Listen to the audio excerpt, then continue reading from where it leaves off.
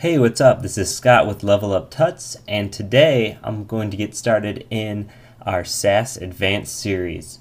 Um, in this, I'm pretty much picking up right where we left off with the basics. However, we're going to get into some really interesting features of Sass in this series. Um, all sorts of really cool things. Um, some stuff that you might not think of, some stuff that you probably already thought of. Um, but today, we're going to be talking about a really cool use of lists. So what Sass allows you to do is Sass allows uh, for the use of lists and to declare a list. Um, it's sort of just like declaring a variable. Um, you know, you do your dollar sign and then your list name. So we're gonna what we're going to do today, the end result, is we're gonna take these uh, social links here, and we are going to, uh, with only a couple lines of Sass, output all of their background images um, generated from a list. So the only thing we really have different is we have uh, in our HTML document, we just have an unordered list uh, social links, it's clearing, um, and each of our anchor tags has a class of whatever that icon is going to be. Um, in our images folder, we just have four icons. They're both uh, they're all 65 by 65 pixels. Um, you know, uh, pretty basic. So, to get going, uh, first we're going to declare our list. And what our list, I guess, is going to be is going to be icons. So we're going to call it icons.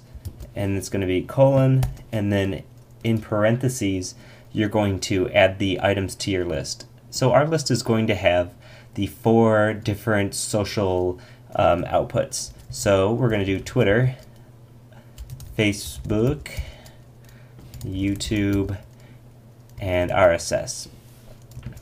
So as, as we can see, uh, as saving that, um, Sass has said that's all right, so no problems there.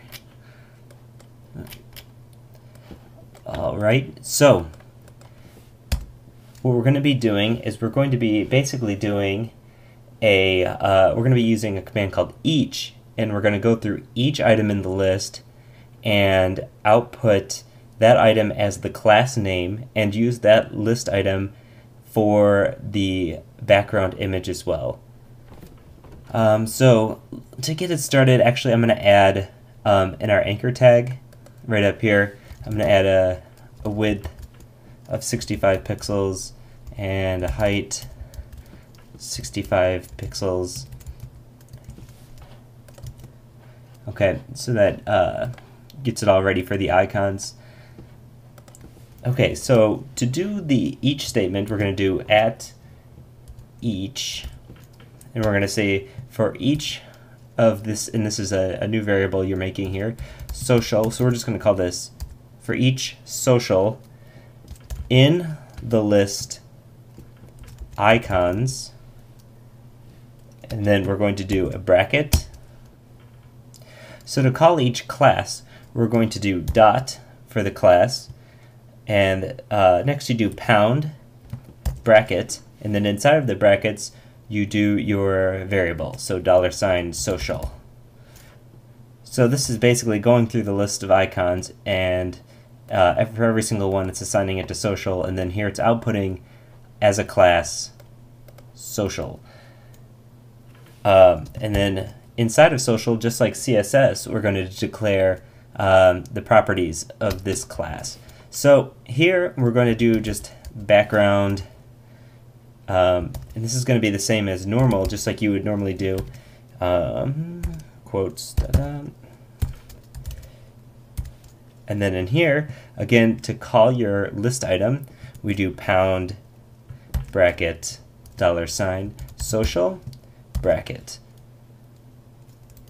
And then, because this is just pulling in the name, Facebook, our icon is Facebook or Twitter, or whatever, dot PNG. And then outside of here, we're going to do just a no repeat. Repeat. All right, so this should be good. And uh, so you can see, Sass gave us no errors. I'm going to go and refresh our page. And as you can see, our icons all showed up. Let's do a text indent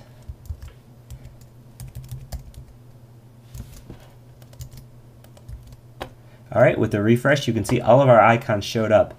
This is really great because um, it's going through this list. If you ever had more um, more icons, you know, instead of having to write a bunch more lines of CSS, you could just add it, you know, comma, whatever your other one is here in, in your CSS or in your Sass, and it takes no time. Let's actually take a look at the CSS to see what it's outputting, because it is pretty cool. Um, let's scroll down here. And so, yeah, it's pretty much doing this work for us. Twitter, background is Twitter, PNG, Facebook, PNG, whatever.